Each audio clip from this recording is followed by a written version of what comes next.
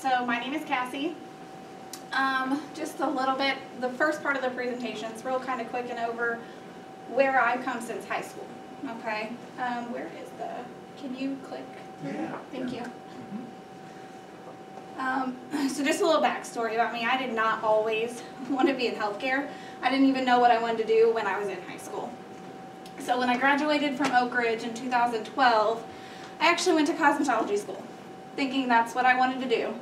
Made it most of the way through and realized that is not at all um, for me. They were too fancy and I wanted more hands-on. So I uh, started working as a CNA at a nursing facility.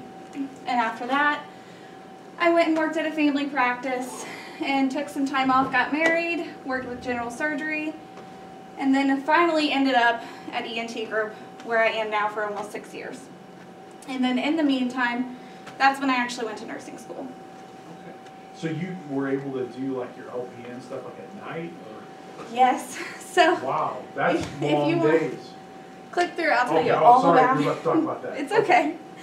Um, so from 2013 to 2014, I don't know if anybody knows what a CNA is, Certified Nurse Assistant, okay?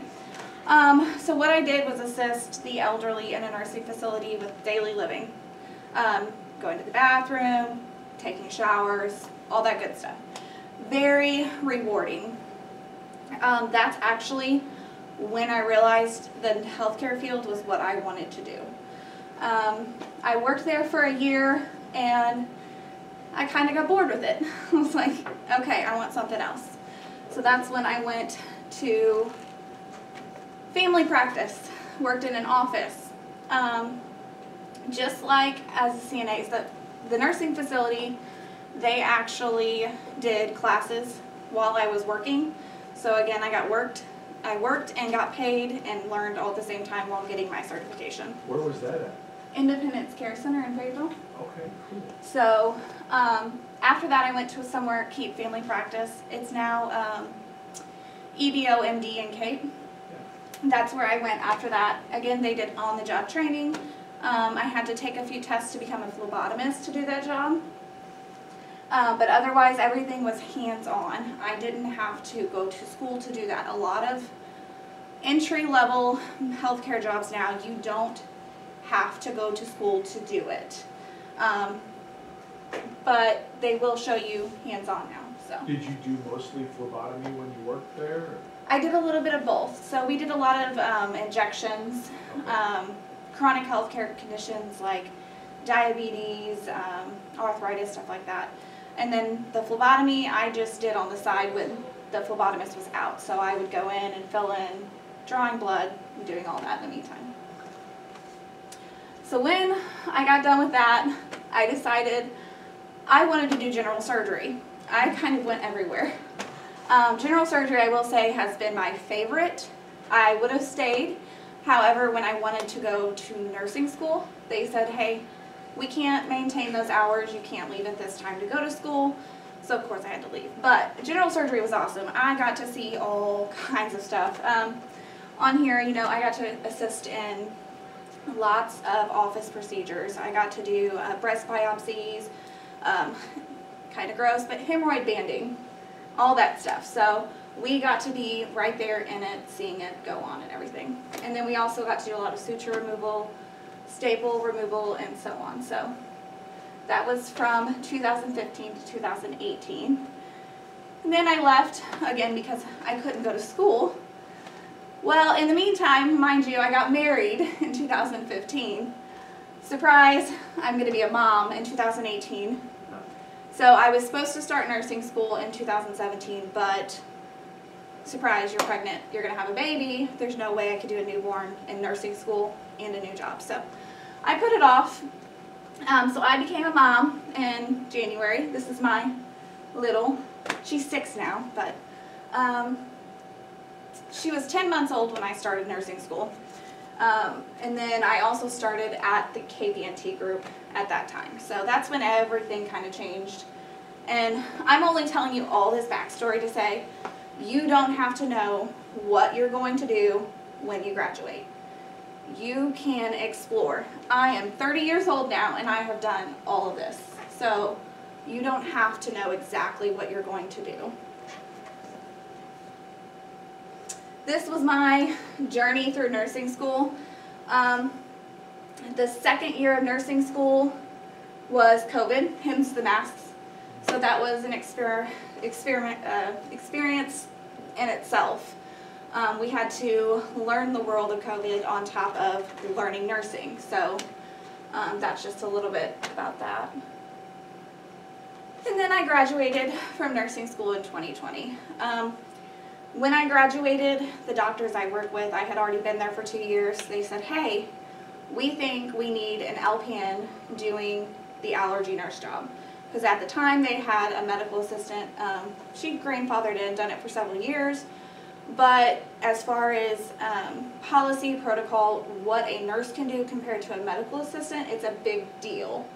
So that's when they said, hey, we want you to do the um, allergy nurse job. She was retiring, so I was gonna just step in. So what do I do now? Um, they gave me the nurse job in 2020. Um, basically all day I see different people. A lot of people are the same people every week because of shots, but I also meet tons of new people coming in for testing. Um, I get to hear about their allergies, their symptoms, and I get to help them in a way of identifying it. I get to test them, um, tell them how to manage it. It doesn't always mean they have to come in and do shots every week just because they have allergies. They can, you know, do environmental controls, and I get to educate them on that, and so on. So that, I mean, it's a lot all in one. You do a lot. Um, is there any questions about what I do? I, it's kind of hard to sum up everything I do. What's, But- what's in the shots? Like, if someone is allergic, like, my wife is allergic to like all the tree stuff. That- It's the actual tree pollen. So, like, you inject her with the things that she is allergic to, Yes, and she doesn't die. that's what, that's the genius of it. Okay. Um, so you start, when you test, we have this thing, it's called an MQT protocol. Um, so I start, if you wanna go to the next screen, it'll kinda show Yeah. you. Um, oh, what's important, Okay, go, sorry. Okay, oh, you're fine. going back here. All right. What's important for my position? What's the things that um, I needed to do in order to do what I do every day? I have to have customer experience because again, I work with people in the public all day. Some are not the friendliest, but you have to learn to work with people. That's a big one. Um, you have to know the signs and symptoms of anaphylaxis, going back to that.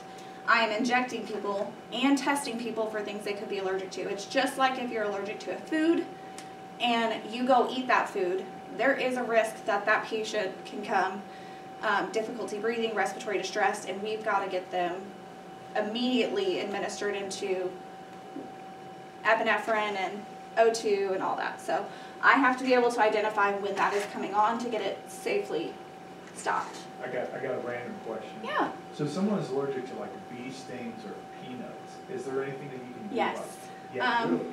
There is venom immunotherapy, so what they would essentially do is inject the venom into the patient that's allergic to it. I do not do that. That, yeah, um, that seems like, That is St. Louis. Uh, the really hands-on stuff is done by allergists in St. Louis, immuno- immunologists. They have like years and years of experience and training in it. Um, the main reason we don't do um, food or venom is because St. Francis does not have a pediatric ICU. So those are higher risk of, of course, throwing them into anaphylaxis. So if I'm testing a six-year-old and they go into anaphylaxis, we don't have an ICU to get them stable. So it's just not on the table for St. Francis right now. so the thing that, that you're, the allergens that you're dealing with then are ones that are environmental more than, more than like injected or eaten? Correct. Okay. Yeah, we strictly do environmental because of that fact of it's less dangerous. Um, you are exposed to dog hair, tree pollen, grass pollen all day, every day. Um, we've only had in the, well, going on four years, I have been in the allergy area. We've only had one patient go anaphylactic. Um, but that is because there was a failure to tell, hey, I have um, swelling of my face when I'm exposed to cats. Well, we test for cats. So that's where the questionnaire and assessment part comes in. If that patient fails to tell us that, we go to test for that. That was the one time. And again, I test two to three a day, so it's very rare. Yeah. Um, I need to know how to administer injections and then again IV certification. Um, what I also do, so after I test somebody, I have to look at their test results and decide how are we going to treat them. Of course, I do this with the doctor because I don't have a degree in, you know, medical, but I follow their rules and protocols on where I need to go as far as dilution and where to start them at. Um, we don't just start off with a bottle of the pollen inject. We don't do that. We take it, and I have to mix that pollen down six times. So it's water, essentially, a little bit. And so what we do is we take a little bit of that and then work the patient up over time, basically building the tolerance until they can get full symptom relief.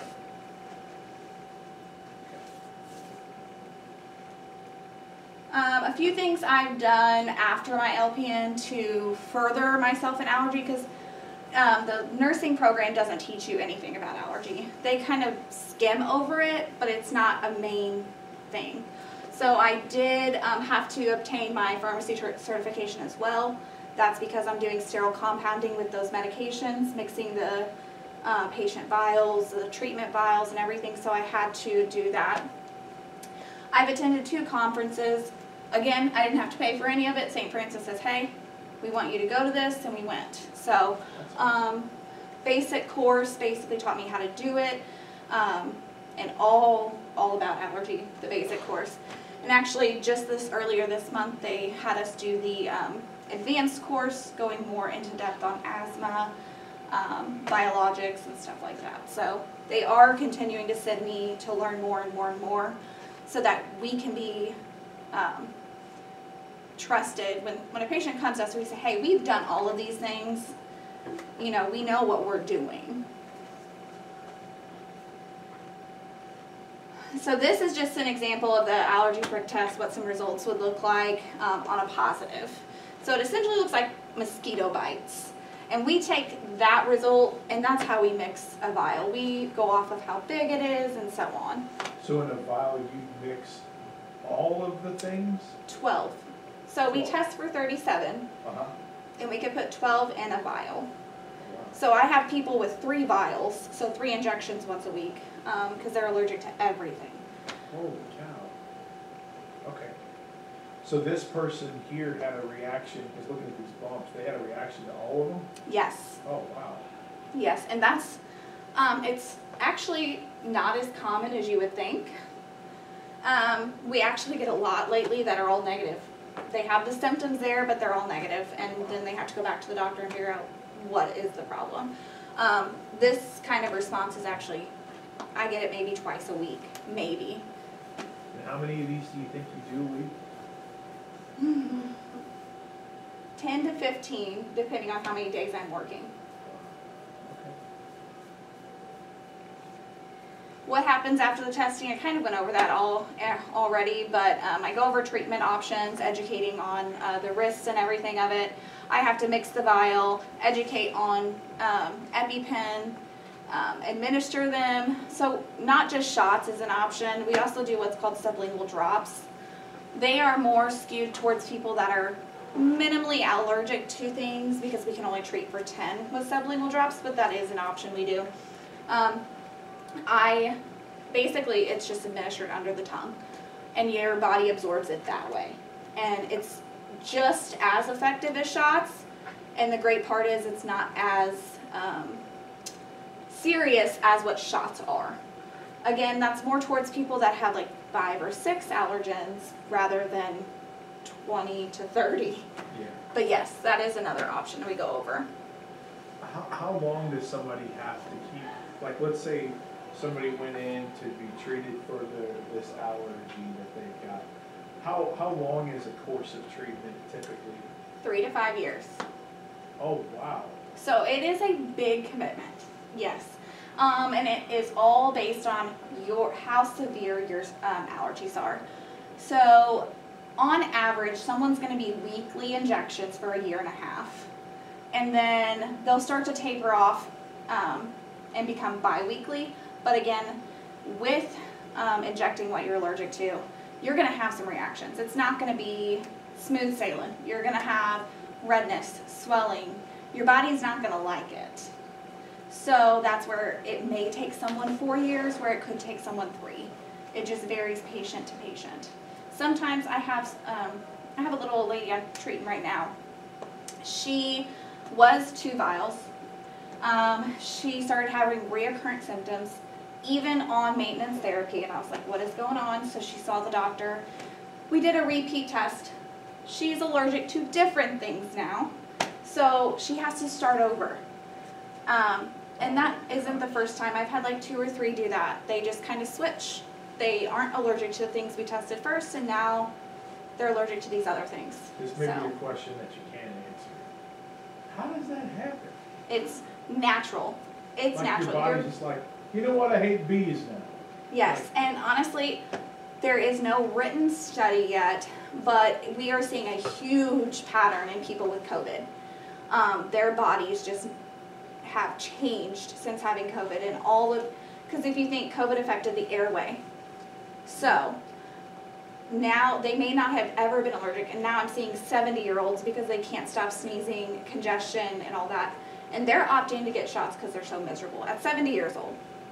So, I mean, COVID ha, I don't, there's no written study to say, hey, yes, there's a link, but there's definitely some, some correlation. And the goal ultimately is that they will no longer be allergic to this thing after being, but like, is there any help to them in the process? Yes, Like, if they get this shot, you know, now, is, is anything gonna help, like, is that gonna help them at all now? yes. So, um, a lot, there, I'm not gonna say a lot, about a third of my patients, by the time they hit, before they even hit six months, they have noticed some change. They have noticed, oh, I'm going around a cat and I'm not sneezing, swelling, and all of that. Like, they have noticed. Um, during the process, we always, always want people to be on, you know, Zyrtec, Allegra, Claritin, some kind of antihistamine. Because again, when you're going around these things, you can't really escape. So there are trees and weeds, grasses. You're going around that. Then you're going to be injected with the pollen as well. You got to think it's kind of double dipping. Yeah. So we want people to um, take an antihistamine, still use the regular allergy medicine through the process. And usually by the time they hit a year, they can start dropping medicines and see, oh, I actually feel better. Like there is ways to go through it. It's just you got your body kind of fights back a lot. Yeah, So. okay. This is why I love this job. Um, I get to socialize all day. I get to talk to people that I don't know. Um, flexible schedule. I'm the only one in the allergy department, so I make my schedule. If I don't want to be there, I Really the only one? only one. I didn't know that. Well, Yes, no wonder my wife. that's why I'm so busy. That's why I held off on this for a while because I'm like, let me get into a time frame where it's not crazy. um, right now, it's not too bad. Allergy season is kind of at a slow, um, but yes, I am the only one that does all of it. So I get to kind of make. If I don't want to go to work Friday, I don't go to work on Friday. It's kind of nice. So that's that was a, a deal if because it's very hard to hire for this job. People don't understand what it is what you're doing. And so not a lot of people apply which means that's just me. So when i um, talked to my director and supervisor i was like if you want me to keep doing it by myself this is what i want. And they said okay. So if that's you- why i love it. If, in a perfect situation, like, let's say some of these kids graduate high school yeah. and they wanted to work with you and for you, what would you like, what kind of training would you like them to have if they were to come in and work for you? basic of course you'll have to have you know cpr basic life support measures um, how to administer an injection and they would have to know what to do in an anaphylactic episode um, they are hiring non-certified medical assistants. Whoever would work under me would have to be an LPN or less. An RN cannot work under me, and that's just scope of practice. Gotcha. So if an RN was hired in, then I would then be bumped down, and I'm like, no. I've done, I've worked my butt off for this program. Yeah, so you're looking, if you were hiring somebody, you'd look for someone with some, some, either CNA or some basic, uh, basic medical training, Yes. things like that. Yes, If, if they got hired to do that job alongside you, and you, you were, you know, uh, trying to train them to do this, like, would then St. Francis pay, you think, for them to get some kind of training beyond that, or? that's the great part. There is no training. I am the trainer. Oh, So Okay. like there is nothing besides, um, they would probably send to the basic course. Um, I got to fly out to Miami, Florida for five days. Nice, And that's what my basic course was. Um, that would probably be something they would do is make them go to that basic course because it does cover everything. But otherwise, everything for allergy is on the job training. You can't go, there's no class to go to for that. You, I mean, it's just not. So all of your certifications basically were just, just certifications for jobs that you had or wanted to have, but they weren't Yes. necessarily required for you to do what you do, minus Correct. the ones that were related to injections and. Right, so the, so the phlebotomy was strictly for family practice. I needed to be able to be, um, to do phlebotomy in the instance the main girl was out, so that I had to do that. As far as for allergy, I don't do phlebotomy, so I don't need that. Um, my pharmacy certification, they no longer require it for my position, but I keep it up, um, just because it's nice to have. It's a certification under my belt if I wanted to go somewhere else, so, but as far as you would of course have to have CPR and stuff like that, but there is no other training. Unless you wanted to go get your license in nursing, that's a definite plus, cause that tells you everything. Um, so actually, what's next? I told you I kinda get bored. So I'm going back to school in June uh, to get my business management degree. Um, I'm starting with my associates because I'm the allergy coordinator. With that, I get more pay if I go get my degree. And guess what? St. Francis pays for it. I don't have to pay a dime. They're paying for me to get my um, associate's and bachelor's degree. So, great thing about working for I don't know about Mercy. I don't know much about Mercy. But they're new. But St. Francis does do tuition reimbursement. Yes, I sign a contract, but I don't plan on going anywhere. So why not let them pay for my college? Okay, So- what does that contract look like? How long do you have to commit to being there if they pay for your school? Um, it is two years for every five thousand dollars they pay. My associate's degree is thirteen thousand. So I'm looking at two years with an associate's, and then if I decide to do my bachelor's as well, however long that would be. But as long as I can use that degree within the facility, they will pay for it. So, I don't really have to worry a whole lot about that. But yeah, any questions? We're very quiet. That's okay. Yeah, yeah. Like I said, I kind of was all over the place because I, I, I have not been in one section of healthcare. During COVID, I worked on the floor, um, I worked in the office, I worked allergy, family, so I've kind of done a little bit of everything. So, How much is your um, annual salary? Ooh, that's personal. I mean, it's like, well, I'll gladly tell you. most people usually um, so let me tell you, when I started, within, from ten years, I started at nine seventy-five as a CNA, I'm now making twenty-one ninety-three, within a ten-year period. Wow. So that's, I mean, I don't know if you know much about growth, but that is, So do you, uh, they, do they pay you like based on your certification though too? yes. So like, if you were doing this job as a CNA, you wouldn't be making as much as No, job? I am a licensed nurse, so yes, a medical assistant is gonna make much less than what I am. Um, also, I have been doing it for, well, going on four years. So that's, experience is a big thing, and certifications are. Saying you can get a job in it, absolutely, but the pay is what kind of experience do you have and certification. So, Other questions? Don't be shy. I'm not ashamed of telling my pay, I'm very proud to make that much Some at people, my some age. people get offended, that's why I want to throw that out there. Usually when the, I- and the question usually does get asked in here, and what they answer is like, in this profession, your ballpark range, they, they, But That's, uh, you know, I was asking. Yeah, no, hey, that's- No, ballpark. I get it. Um, actually, so before, so within ENT, when I was a medical assistant, I've only been there six years. Okay, I started at twelve dollars, and obtaining those certifications, going to these conferences, I'm almost ten dollars more.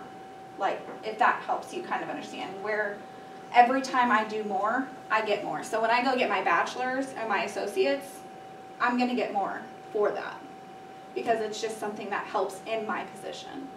as a general rule, if you want to figure out what that equates to per year, you kind of multiply it by, what is it, by two, two, and then it's in the hundred thousands of that, so then, basically, if you made ten dollars an hour, you make about twenty thousand dollars a year. But if you make twenty dollars an hour, you make like forty thousand dollars a year, it's a, it's, that's a, it's a, it's a huge jump, yeah, Yes, I, I did Double do a, a big, big jump. yeah. The IRS doesn't like it. No, they love it, they just want to take more and more. Oh, yeah, year. they, they do. So, any other questions? I should require everybody to ask a question. I feel like that would be a good way. I, I didn't warn you, well, maybe people wouldn't show up if I did that. Oh, yeah. We're glad you're here. I don't It's- want to make people not show It's up. not very exciting. A lot of people don't know what it is, so. Why don't you explain how to use an EpiPen? I was actually gonna bring one and I I completely have forgot. mine. You have yours? You have your Yeah. trainer? No, I have, I think these are my, my old ones I had in here. My old ones. You probably don't have your trainer, but I can at least show you what they look like, what they do. Um, this is a more compact version. So there's three different types of EpiPens. This is the newer one they came out with besides an Auvi-Q. Auvi-Qs are my favorite, but they're so expensive, nobody can get them. Um, but this is a compact version of their original EpiPen. So if you look at it, it's very tiny, easy for her to carry, no issues. What you do is you remove both glue and it's gonna reveal a red end. That red end goes into the thigh and you have to hold for ten seconds. The reason is, is this is a pin injector. That red, if you can see on the picture, the red area, that's covering a needle and once you stab yourself in the side of the leg, that needle then is pushed into your skin and you have to hold until this pin can push all that medication into the body. That's why you have to hold it the 10 seconds. Um, about 20% of people that require an EpiPen for any reason, not just my reason, um, need two before they're actually better. So some people get two in a pack and they're like, oh, I got one for home. I got one for my backpack. No, no. The reason is, is because of that. If you need two doses and you only have one, you're gonna be struggling to get to the ER. So, and that's another thing, if you have to use an EpiPen for anything, you need to go to the hospital. There's biphasic anaphylaxis. What that would mean is you feel better for a little bit, you've already used both of your EpiPens, and it happens again, and you don't have anything. That's why anytime someone has to use an EpiPen, make sure they go to the ER. Question. Yeah. If most people need two doses before they actually like feel better, why don't EpiPens have more, like a higher dosage in them, I guess? Um, that's the standard FDA approval. That's all, that's the only answer I can give you. That is the standard they will approve for a dosage, that much, for someone to self-administer. If it was any more, would it be unsafe? Yes, you gotta think it's adrenaline. So your heart is gonna be racing. They don't give, hence they don't just give them out at pharmacies, you gotta have a prescription and stuff, it's because it's adrenaline. Um, they just don't give more than that. And I guess maybe too, if it's little kids, they That's- wouldn't need Yes, so there is different dosages as well. Um, people sixty-six pounds and under, which is little bitty, they get half of that. So you gotta really monitor, um, when someone has an EpiPen, how much they weigh. And that's why you don't use your EpiPen on somebody else, especially if they're smaller, because you don't know, what if they are sixty-four pounds and then you just administered two doses of, of their one? Or, yeah, one dose to their two. It's dangerous. So that someone like my size that weighs about too much, uh, would they have like an EpiPen that's like enormous? Or would I have to use like four of them? It would be that. Um, that is a standard that should make someone feel better. Okay, Yeah, because by the time you notice you're not breathing or you're swelling, your face is swelling, you're going to administer that, and you're already going to be on your way to the ER or calling 911. yeah. And they will administer more at the hospital. Yeah. In an emergency situation, say somebody like weighs more than you, does it work in the same? Like, I know you said you can't really use it for somebody that weighs less, if Right. somebody Right. weighs Yes. more than you and they would need a higher dosage, is it considered more or less safe to use it on them if they weigh more than you? Um, it's not really as far as if they weigh more. So you can say someone, you have an adult EpiPen and your mom goes into anaphylaxis. You can use your EpiPen on her. It's gonna do the same effect. They're not gonna require more than. I'm just saying, like, the two together, 0.6 is about as much as someone will need for instant relief, enough to get to the ER. They shouldn't need more than that instantly, I, I've never heard of it and there's no study on that, so. Is that 0.6 milligrams? Total, yeah, so each pen is 0.3 Gotcha. uh, milligrams per ml, so. Okay. So does Dr. Kuntz prescribe biologics based on your recommendation then? His recommendation, so I, um, Like if you say This- they're allergic to thing. this or this, and, you know, they, something that, like, walk me through that process. as far as biologics, you mean like, Like, um, something that I would, make that would, sure. yeah. I, and I don't know specifically which biologics would like impede the, the allergic response. So they know. all do, um, not all, let me rephrase that, there's like six of them that affect the inflammation response on the body. Um, Okay, so just regular, like, like, uh, inflammation, I'm thinking like Humira. Is that one he would prescribe or No, not? Okay. the only ones we really have done much with, we are getting into the biologics, we just Yeah. started last year. Um, the only ones we do anything with is called Xolair and Dupixent. I've heard of Dupixent. Dupixent's great, I love it. Xolair, not so much, but that's But just like, my okay, personal opinion. so really uh, allergies have to do with like eosinophils Mhm. in, in a lot of ways. Do, do those biologics somehow keep those at bay? It blocks them. Wow. So they're great. They are great. Um, we only do it for patients with what's called nasal polyposis. Um, and theirs is because they have chronic inflammation that's causing polyps. Um, Does that cause the polyps to? yes, yes, it makes it go away and it's so amazing. I My love it. That's like why I'm so excited because Dupixent is a great, great drug. I love it. Wow. Um, but Xolair is also one we use for nasal polyposis. Xolair um, is more IgE mediated, so we have to check someone's IgE levels before even prescribing it because their dose will be dependent on how high their IgE is and their weight. So we have to watch that. Um, Dupixent is not. Dupixent is going to be the same for anybody over 18 years old. It's going to be the same dose for everybody. I'm gonna go out on a limb and say thousands of dollars per dose, Yes, it is a very expensive drug, as but, you know, I do the prior authorization process on all of those. Um, so it's easy and hard at the same time to get someone approved, but if you have all the documentation there, it's great. Like, nothing, nothing down. So, Dupixent. yeah. All right. Anything else? Wanna go back to work after this? No. No. She writes her own schedule. Are you kidding me? Yeah, I do, and that's, that's, that's a great thing. Like, I, I think I worked one Friday last month because I needed to go mix. but other than that, I, I really haven't worked Fridays. And that was strictly because I'm the only one doing this, and I was like, if I'm gonna be the only one doing this, I'm gonna get perks out of this. Mm-hmm. And they agreed.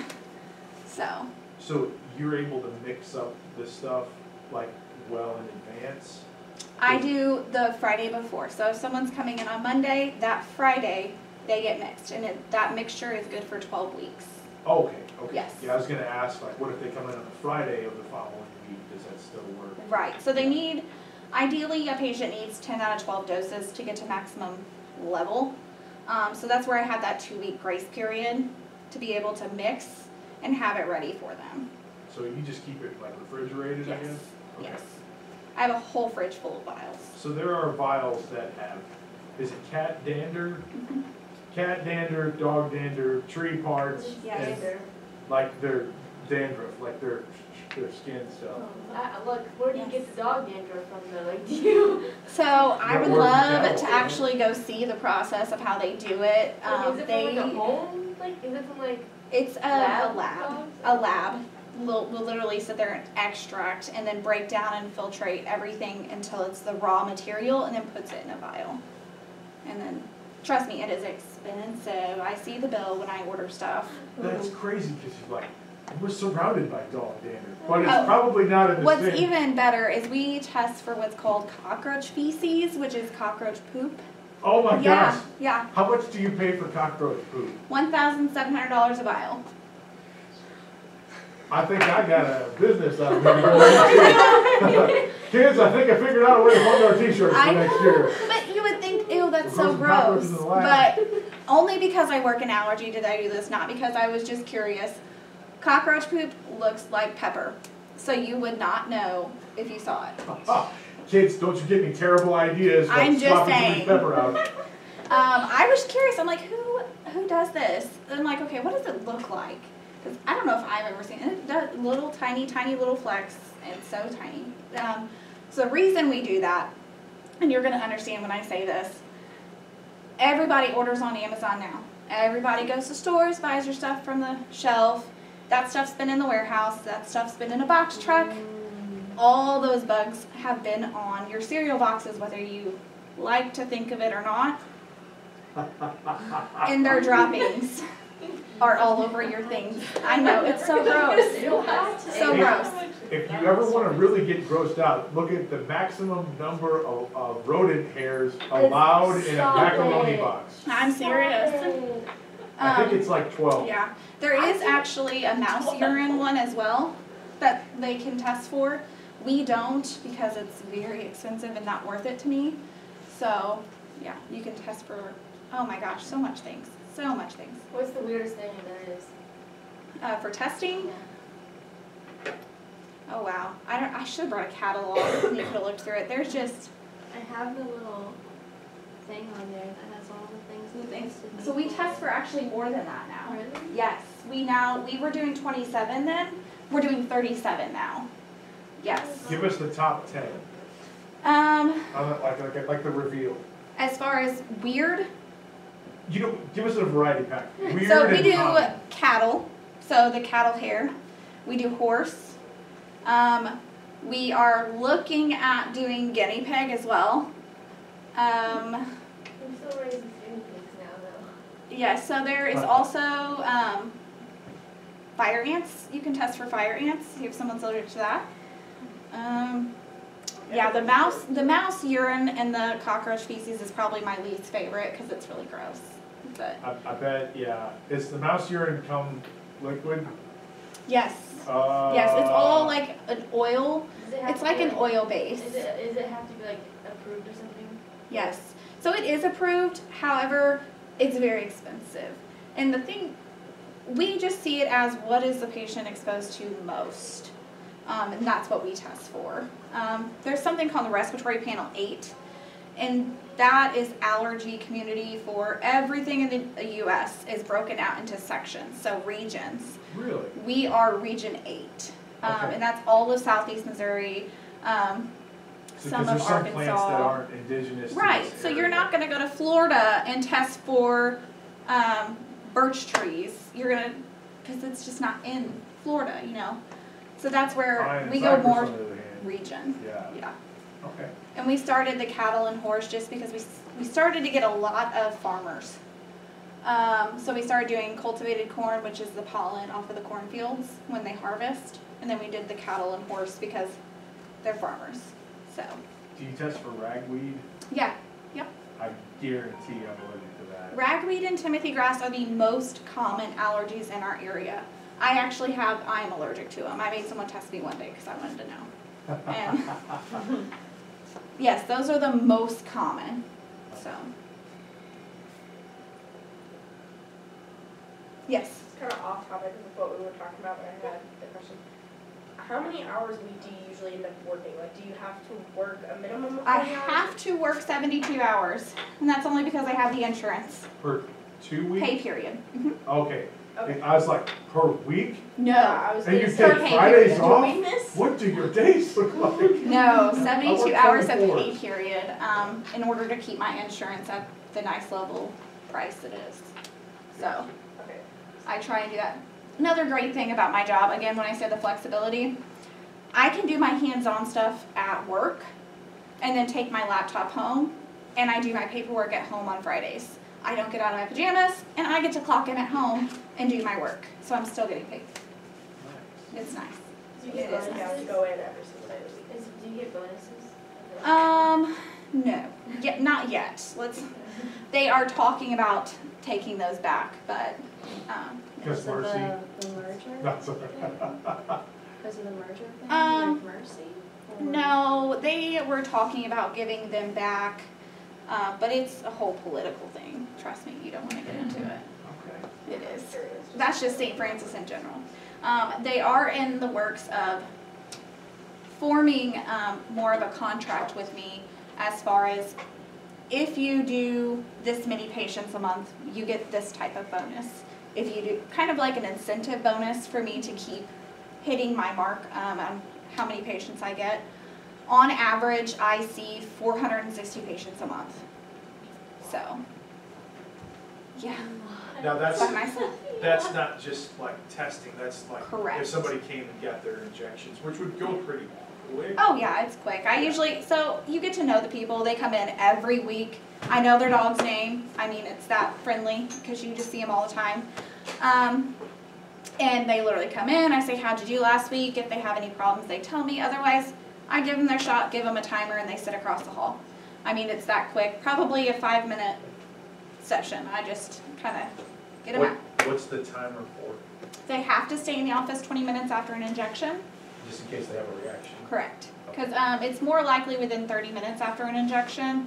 Um, and by the time they get to the waiting room, get done with their timer, see me, and leave, it's been 30 minutes. So Okay. And if it doesn't happen in that time, it's not gonna happen usually? you have up to 48 hours. Oh, gosh. Um, it's very rare. I've only, so I do have one other patient. He um, got his allergy shot, and I educate this when people start them, don't do this, but he did it. Um, he got a shot, went home, cleaned out his basement, Oh, went into anaphylactic shock because he's allergic to molds and dust. And that's what I mean by the the doubling up. If you're gonna do that, that's that is calling for an emergency. he already had it in his bloodstream. Yes, like, we had just you given know it. I want lots of it in my respiratory. I know. When he called me and told me, I said, "Well, what were you thinking?" Like, we go over this. You don't do that. So, that's the probably only the second person I've had actually have to use their EpiPen. So, All right, Any other questions? I have a question for you guys. Does anybody actually know what they want to do when they get done with school? You do? What do you want to do? Uh, between cardiothoracic surgery and neurosurgery. I know a neuro guy. If you ever want to talk to him, he was my sister-in-law's an RN. She was his RN, and he's super nice. Anybody else? Ac- Actually, I know a cardio guy too. I give him shots. So, you let me know. Pediatrician? I know one of those.